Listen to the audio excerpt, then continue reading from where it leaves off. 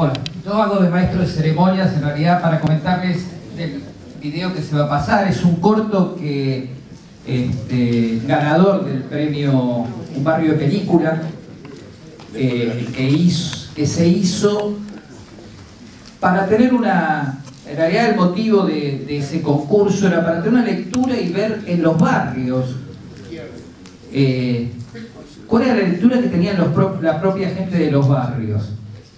Este, sabemos que en la capital federal, eh, más allá de, que haya un gobierno de la derecha, ellos fueron los que leyeron claramente la transformación cultural que hubo en la ciudad de Buenos Aires.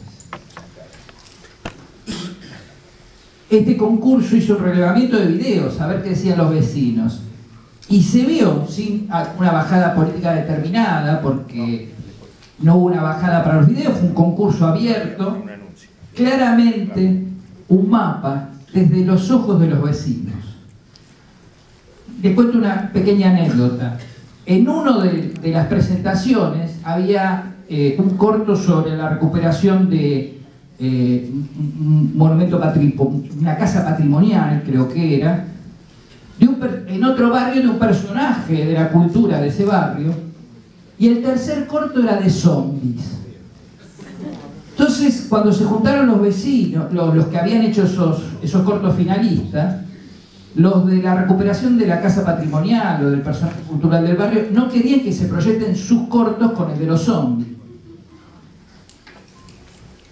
El, el de los zombies empezaba con que los zombies cambiaban el preámbulo de la Constitución y donde decían todos los hombres de la tierra habitar, todo así, ponían, tachaban hombres y ponían zombies. La lectura que habían hecho esos chicos de lo que pasaba en su barrio era una gigantesca lectura política de lo que había pasado con esos vecinos del barrio que andaban como zombies. En realidad este, era una lectura por ahí eh, generacional distinta de lo que sucedía culturalmente en ese barrio, pero con una riqueza enorme. Cuento esto para que vean que no había una bajada de línea política, nada, pero este concurso mostró una radiografía bastante acertada de lo que está pasando culturalmente en la capital federal.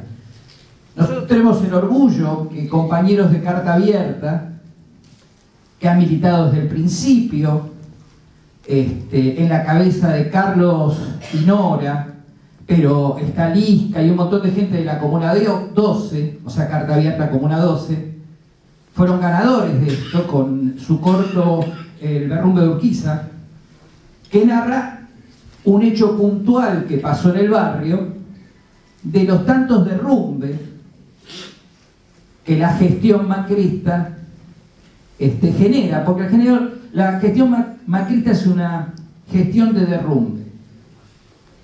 El cierre de los últimos 27 centros culturales que hubo hace unos días atrás es parte de ese derrumbe. La gestión macrista en la capital es una gestión de derrumbe generalizado. Bueno, lo dejo con Carlos que va a comentar sobre el corto y un aplauso a todos los compañeros de Comuna 12 que han ganado en este certamen. Muchas gracias, compañero. Bueno, este, la idea surgió a los pocos meses de ocurrido el derrumbe del Orion Gym, eh, que fue el 9 de agosto del 2010. Eh, teníamos algunas ideas, conversamos entre nosotros y acudimos a Coco Blaustein a conversar con él a ver cómo podíamos hacer. Él nos orientó, nos dijo que eh, en verdad estábamos en condiciones de armar un corto. Nosotros pensábamos ambiciosamente, sin saber en qué nos metíamos, en 28 minutos. Este, estamos en ese intríngulis cuando eh, surge la brillante idea de Liliana Masure de este concurso este, Un barrio de películas. Este, entonces decidimos presentar. Y así fue el origen de esto. Eh, Coco nos dice, tienen que conseguir gente que se ponga al hombro este, en el corto. Y bueno, y aquí están. Paula Morel, este, Natalia Cerizola, Alejandro Ortigueira, eh, no está acá con nosotros eh, Nico Brucaló, ni Luli, ni este, Alejo, que han sido este, los que han tomado la dirección, eh, cámara, edición, en fin, todos los aspectos técnicos que tiene la elaboración y la realización de un, de corto. ¿no? Este, bueno, eh, ¿qué es lo que decimos ahí? ahí ¿qué, ¿Qué ejes se desprenden para llevar al barrio y discutir en el barrio? Que la intención nuestra es esa. En primer lugar, como decía Jimmy, el tema de los derrumbes, 18 derrumbes eh, por año en los últimos seis años, es mucho. Además de todo el derrumbe que muy bien lo decía él y, creo que este derrumbe es una metáfora de lo que ocurre en la ciudad. Este, eh, la ausencia del Estado y la convivencia de los funcionarios con el negocio inmobiliario. El tema de la memoria, que es el, primer eje que tomamos. Este, el sábado 9, que se cumplieron cuatro años de este derrumbe, hicimos el acto con los familiares este, frente al lugar del derrumbe y colocamos una placa en la vereda, proyectamos el corto, bueno, y estuvo el compañero Eduardo Josami y estuvo también la compañera Liliana Masuri cerrando el acto. Un acto bastante importante porque hubo alrededor de 500 personas ahí. Este, eh, el otro tema que se desprende acá es un tema que nosotros hemos discutido mucho, que es el derecho a la ciudad.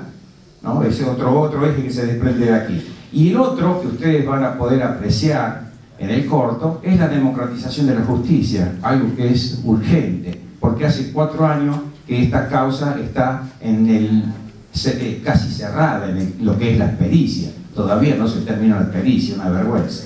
Bueno, nada más que eso y los invito a ver el corto. Muchas gracias.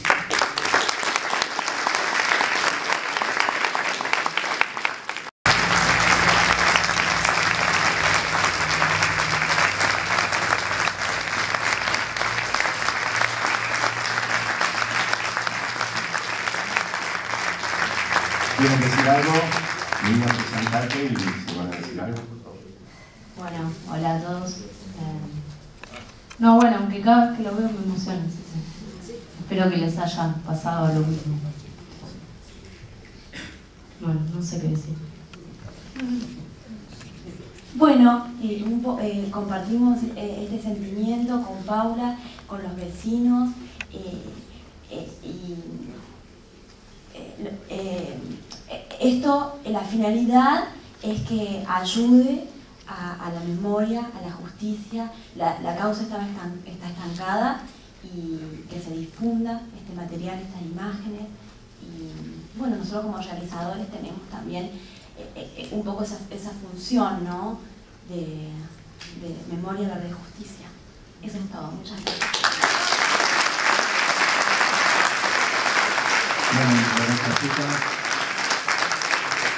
Es un material para difundir por todos los barrios, muy interesante, así que felicitaciones. A la Comuna 12, a los realizadores que tuvieron la idea.